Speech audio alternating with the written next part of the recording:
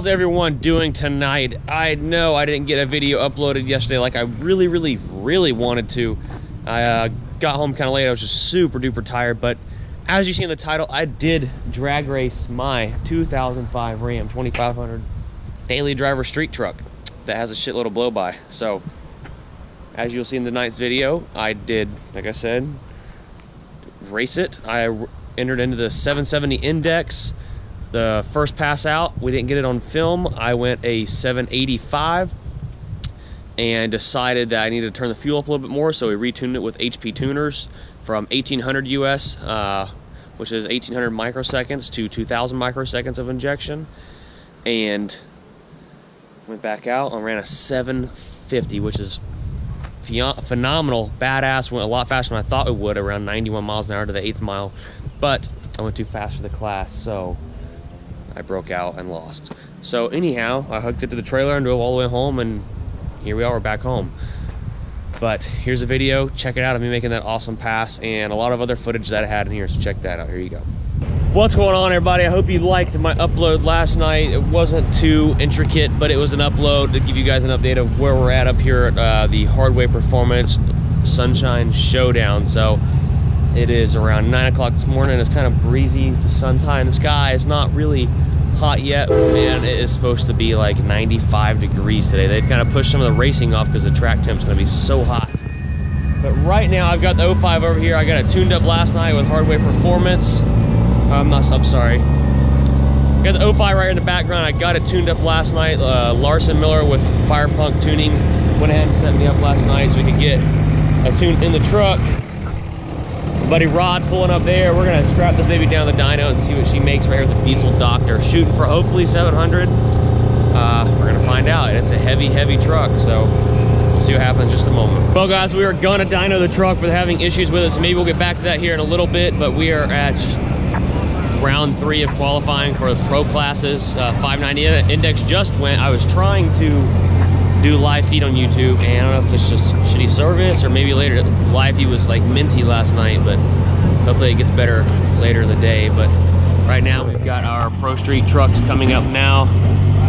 This is a 6.4 power stroke, I think. Yep, all drive.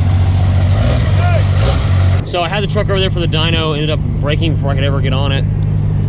I went out and made one pass with the 05 on the stock tires. And wheels and it literally spun all four so we had to change that up. And I borrowed Montana slicks that he had and went out and made a 780 pass in a 770 class.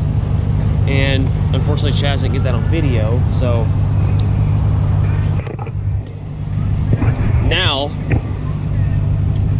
we are up for a first round of eliminations up against one of the best guys in the 770 index race. I went a 780 at like 89 or 95 miles an hour, somewhere in there, to the eighth mile.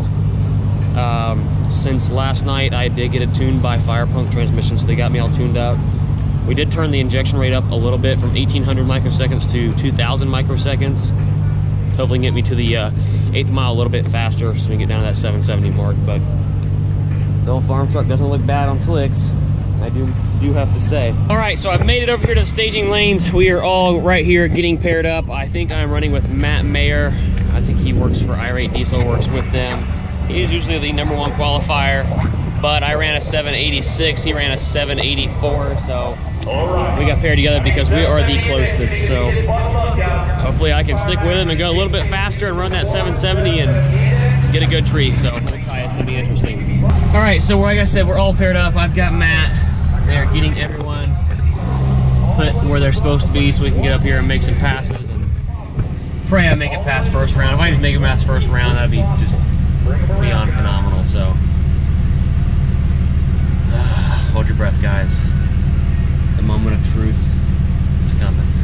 All right, so the GoPro is being a huge piece of shit, pain in the ass, but we're all paired up now. Matt's next to me in his 7.3.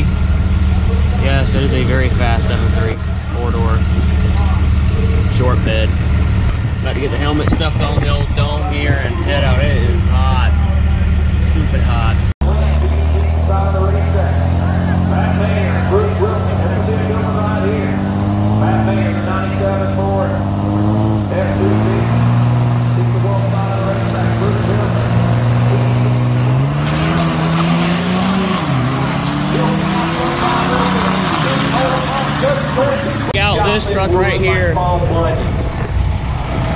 Fucking box, a freaking box truck. It's got a 4BT compound turbo Cummins in it. Remember, remember, ET class, ET class, Stable Performance Exhaust ET bracket, $20 buyback, first round only in the South. $20 buyback, first round only in the South. It's on Nitto Proxies, Toyo Proxes.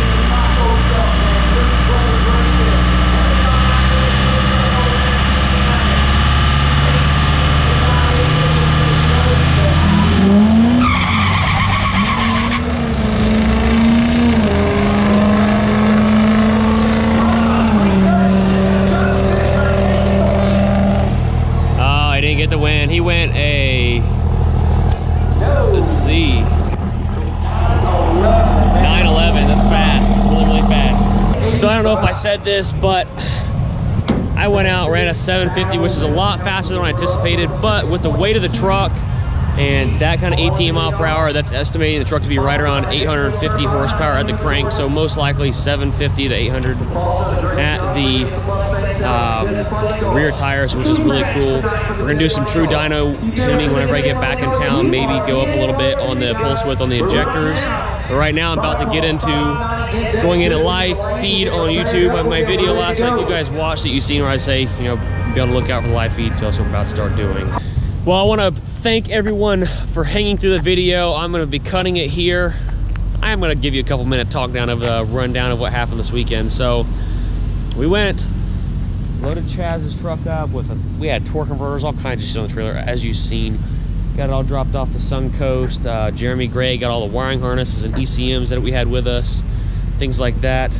Um, so we emptied all that off the trailer, and yesterday night slash this morning, I decided, you know, screw it, I'm gonna run 770 index, and I got Larson Miller with Fire Punk transmission. They went ahead and tuned the truck up for me ran great went out and made a 789 pass i went to him said hey let's turn it up just a little bit more because i do have stock head bolts still stock valve springs stock push rods basically everything else is stock other than injectors pump and turbo go figure so we turned it up from 1800 microseconds to 2000 microseconds of injection timing and went a 750 to the eighth mile i know that's not extremely fast but for a truck that literally pulled you know uh, 10,000 pounds here and it's pulling 9,000 pounds back home, six hours there and six hours back. I'm not going to complain whatsoever. All in all, the truck did really, really, really good. We just pulled out of the drag strip. We have made it about 45 minutes. We still have like five and a half hours to go. We're gonna fill the truck up with fuel and go into Love's, take a nice hot shower. I don't know if you guys ever travel, but Love's has the nicest showers. Chaz has never took a shower at a truck stop. He might be a little scared. He says he wears Crocs in, but so we're gonna go in here take a shower, and then obviously we've got the truck already topped off of fuel, and then we're gonna hit the road and head home. I appreciate everyone tuning into my live feeds. If you guys want to see more live feeds, drop comments down below and let me know. Um, you know, hey, we want to see more live feeds. I'll do more live feeds around the shop, stuff like that. And of course, when we go to races, I'll be doing those also. But make sure you guys hit the like button, drop a comment down below about the live feeds, and you know, if you have any other questions about the video or if you liked everything that happened, smash the like button. I think I already said that, and subscribe if you're new to the channel, and turn on that notifications bell so you can stay up to date. And at the end of the video, check out my Instagram, follow me there if you haven't, and always be sure to follow me on Snapchat for all the kind of cool, quirky stuff that's always happening. So appreciate you guys tuning in. Peace. So that was going to be a huge long video. Well, I'm not really, it was just to be a little short clip video, but I decided to go ahead and add some length to the video, and I'm doing some more on, on today on Monday. But I've got the truck back here at the shop. As you guys know, it is my little brother's old truck, and it had huge subwoofers in the back seat. But he decided to take all those out. Well, frankly, I didn't really want them. So he got all those pulled out, and he literally only left me with rear door speakers. So I've got some 6x9 speakers laying around here in the office. I'm going to get stuffed in these front doors. So I've actually got four speakers in the truck, so it doesn't sound like a complete pile of crap. And then I've got a couple things to do here at shop, and I may ride down to uh, this little car show in St. Pete. We'll see. Uh, Garrett, Cletus will be there, and a couple other people. It should be a pretty good show, but we're gonna get this stuff thrown in here right quick. So, well, I was gonna put these Audio Legion, whatever the hell these pieces of crap are in the truck, but they both rattle and they're major pieces of shit. So looks like we're still gonna have holes in the front doors. Sorry for that shitty, unexpected upload. Just, I do and have been planning on taking this truck to the local audio shop here in town to get them to. Uh, I do have a nice Alpine double DIN head unit to get him to install. He's gonna do coaxial front and rear speakers and do subs underneath the back seat. Uh, all addictive audio stuff. So I guess I'm just gonna have him do that. I was kind of hoping that might be a temporary fix for my only having two door speakers in the rear. But I guess not. So I'm just gonna throw this door panel back on and we're gonna ride down to St. Pete and see what this car show is all about. So we made it out here to the Quaker Steak for Florida Street Scenes car meet and these people just don't know what they're looking at. An old farm truck here. They're unsuspecting as hell. But we're over here parked with the old Mopar no car crew. Right, right, right. Got the old whistle kitties over here. All the good stuffs. Walk in here and grab some beers.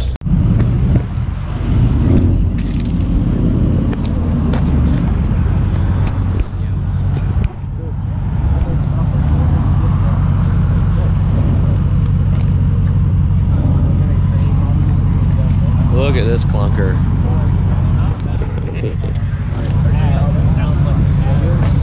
How many LSs have you eaten, sir?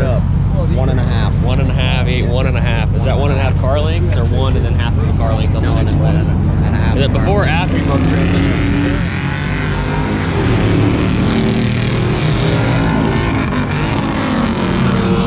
There went a motor All the missed years. can't drive. Make sure you check out Parker's Instagram at ls underscore eater. Not a bad turnout. oh no, it's pretty good. This milkshake machine over here flexing out. Florida Power Stroke Nation. Well, we're rolling out. There's just too much rice here for us. That might be the only muscle car here, and he started it with a screwdriver, so see what we can find on the road headed home. The old 2005 Dodge Ram.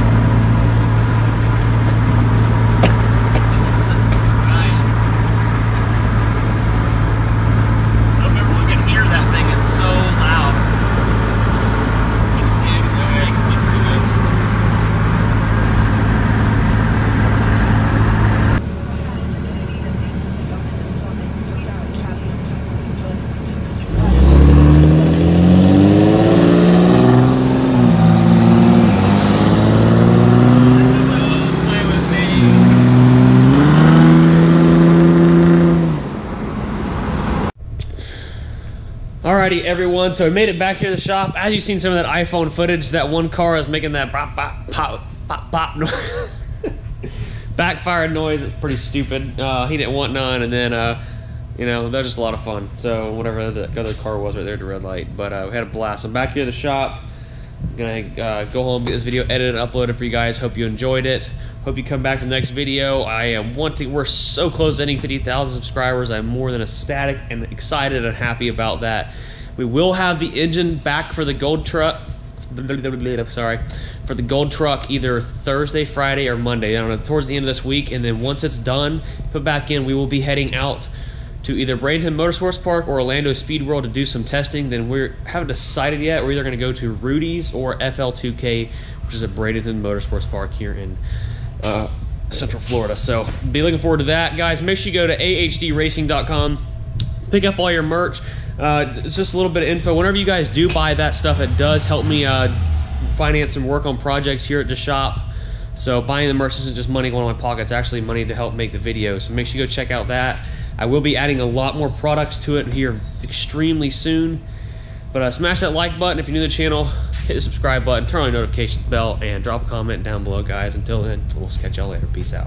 Also, guys, if you're still in the video, I want to throw in here now through, well, until they're all sold out, every hat or uh, basically anything purchased on the website, even if you buy one Diesel Gang key tag, I will be throwing a second one in for free. And if you buy a hat or a sticker or anything else, I will also be throwing one Diesel Gang key tag in for free. We have about 300 left. I just want to get them all sold because we have some new merch coming out.